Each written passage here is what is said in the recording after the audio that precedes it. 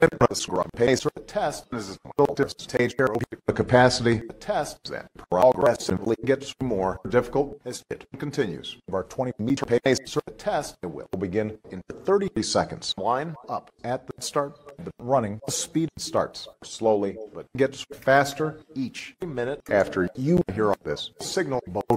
A single lap should be completed every time you hear this sound.